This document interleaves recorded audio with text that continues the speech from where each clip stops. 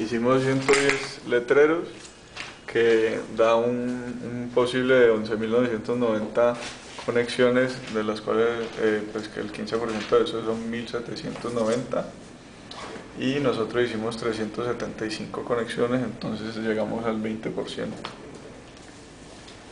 Estos son los, eh, los ítems más que más conexiones tuvieron.